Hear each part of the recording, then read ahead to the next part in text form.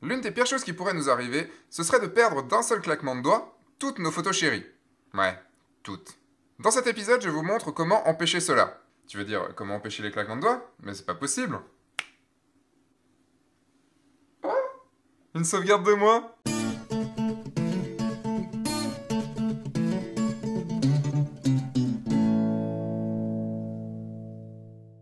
Bonjour, je suis Sébastien Roignan, et vous êtes bien dans un nouvel épisode de F1.4. Ouais, je l'avoue, j'ai négligé mes sauvegardes durant très longtemps, dans l'espoir, ou plutôt dans le risque, de ne pas avoir à m'en mordre les doigts le jour où l'irréparable se produira. Tu parles du jour de jugement dernier, là? Non. Je parle du jour où un disque dur va me lâcher comme une merde et me faire perdre toutes mes photos. Je dois être né sous une bonne étoile, je n'ai jamais eu ce problème. Et maintenant, je tiens la solution. Merci j'ai donc enfin pris le temps de bien gérer mes sauvegardes et mon archivage. Et même si tout n'est pas encore extrêmement bien ficelé, j'ai pu créer un système qui peut m'éviter 95% des déconvenus. Au moins. Cet épisode n'a pas pour but de vous expliquer dans les moindres détails comment mettre en place votre système de sauvegarde, ça je l'aborderai sûrement dans un futur big épisode, mais plutôt de vous donner une idée globale du schéma, voire une idée du schéma global. Une petite chose également, environ une minute de cet épisode est sponsorisé par Western Digital. Ouais, il m'a envoyé un NAS MyCloud EX4100 pour que je le teste et que j'en parle dans F1.4. On voit ça tout à l'heure. Avant de parler sauvegarde, il faut tout d'abord faire un petit retour rapide sur mon workflow photo, car ce système de sauvegarde n'est viable qu'avec la mise en place d'un workflow adapté. Workflow que vous pouvez retrouver dans certains épisodes de F1.4 ou dans des big épisodes. Vous avez quelques liens dans la description. Une fois mes photos faites, elles sont importées dans Lightroom dans un catalogue de travail qui a son propre emplacement sur le disque dur de mon ordinateur. C'est un catalogue regroupant tous mes shootings en cours de travail. Après avoir trié et traité ces photos, la séance ou projet est supprimée du catalogue de travail. Bon, pas tout de suite, rassurez-vous. Elle est d'un côté exportée en entier en tant que catalogue avec les RAW et les formats JPEG dans un dossier projet à archiver, et de l'autre côté, les quelques photos que je veux absolument garder près de moi sont envoyées dans le catalogue portfolio dont je vous ai parlé bah, il y a deux semaines en fait, dans un épisode juste avant. Je me retrouve donc avec en travail un catalogue spécial avec toutes les photos en cours, un catalogue portfolio avec toutes ces photos, et en archive, un dossier par projet terminé. Deuxième point à aborder pour que vous compreniez bien cet épisode, la différence entre la sauvegarde et l'archivage. Mais non, c'est pas la même chose, je te l'ai déjà dit. Et c'est très important de les distinguer, car les deux méthodes sont assez différentes. D'un côté, vous avez la sauvegarde. Elle concerne tout le travail qui est en cours. Dans l'idée, c'est d'avoir toujours une copie du travail que l'on est en train de faire afin de ne pas perdre un temps précieux à cause d'un fichier corrompu ou d'un écrasement, d'une suppression malencontreuse ou d'un disque dur qui nous lâche. De l'autre côté, l'archivage concerne tout le travail qui est terminé, sur lequel nous ne reviendrons sûrement jamais. Mais il est bon de toujours garder ces données pas très loin de soi, on ne sait jamais quand on ne peut en avoir besoin. Quand on peut en avoir besoin, si on parle bien même. Commençons par la sauvegarde. Il faut bien se mettre en tête qu'il faut perdre le moins de données possible. Une erreur est trop vite venue pour nous faire perdre une heure, une journée, voire toute une semaine de travail. Un disque dur qui lâche est très très très très vite arrivé. D'un côté, j'ai les données de base qui sont sur un disque dur de travail dans ma machine. Ça c'est logique, il faut bien qu'elles soient un peu quelque part quand même. Hein. Ces données sont dupliquées sur un NAS. Pour ma part, c'est un Western Digital MyCloud EX4100. C'est un NAS de 24 Tera que j'ai configuré en RAID 1. Il permet de faire du RAID 5, voire même du RAID 10. Ouais, du Red Bull tant que t'y es. Non, ça c'est pour les faibles.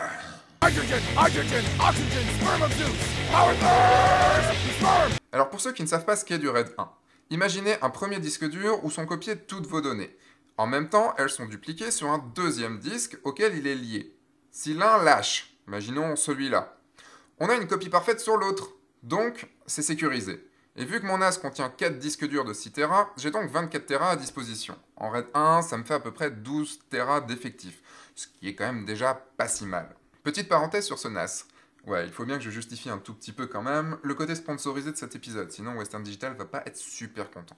Alors je l'ai trouvé plutôt très simple d'utilisation. Moi qui en avais acheté un chez Lassie il y a deux ans, que j'ai même pas réussi à faire fonctionner, là j'ai juste eu à m'y pencher 5 minutes et c'était réglé. Assez pratique. Bon, c'est vrai que ce modèle, c'est un peu la version de luxe, il coûte quand même assez cher.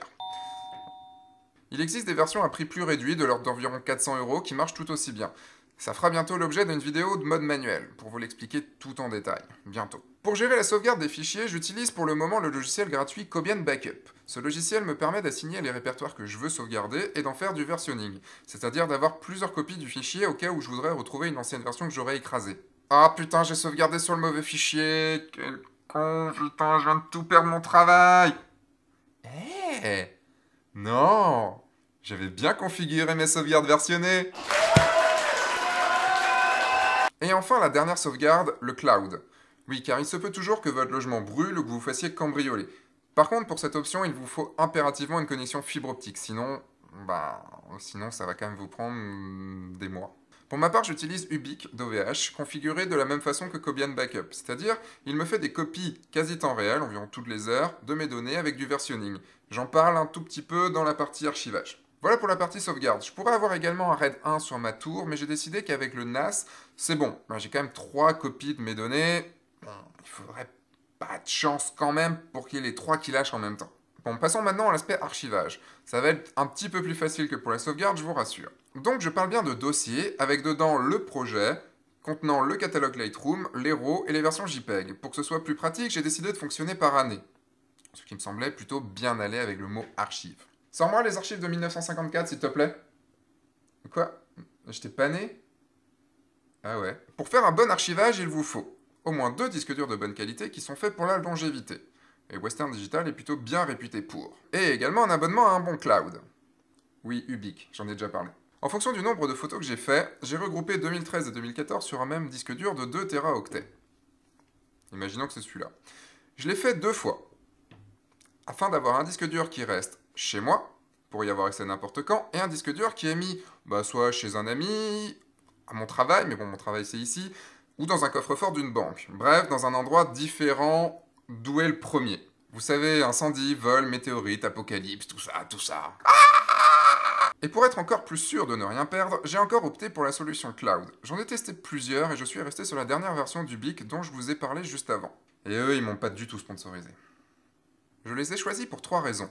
1. La rapidité des transferts, environ 5 mégasecondes, ce qui est quand même pas mal. Le fait que ce soit français, et surtout le tarif. 50 euros les 10 teraoctets à l'année. Franchement, il y a large de quoi faire. Large, très large. De plus, j'ai accès à mes fichiers de n'importe où et je peux les télécharger, voire même lire les versions JPEG depuis mon smartphone, ce qui est quand même plutôt, plutôt cool, je dois dire. C'est pratique.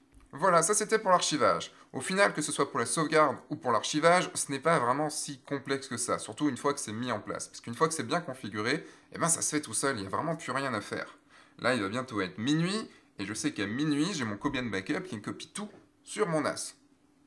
Bon, logiquement, avec tout ça, vous serez plutôt assez tranquille. Et si tout avec ces précautions, vous perdez tout, je crois que vous aurez quand même plus à penser à votre survie qu'à vos données. Il est bien sûr possible d'améliorer cette façon de faire. Il existe par exemple des protocoles torrent qui permettent de sauvegarder ces données encryptées chez un ami et inversement. Le déploiement de lignes fibre optique permet maintenant d'envisager de la sauvegarde en ligne facile, même avec des fichiers aussi lourds que du RAW ou du PSD. Et ça, c'est vraiment vraiment cool. Voilà maintenant l'épisode est fini. Si vous l'avez aimé, vous pouvez cliquer ici pour recevoir un big épisode exclusif gratuit et recevoir toutes les infos de F1.4. Je vous dis à dimanche prochain, entre temps sortez, faites des photos et amusez-vous. Au revoir. Ce serait quand même vachement couillon que je perde cet épisode avant de l'avoir sauvegardé.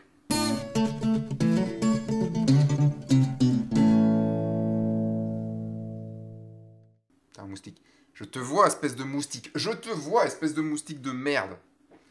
Alors toi, alors toi.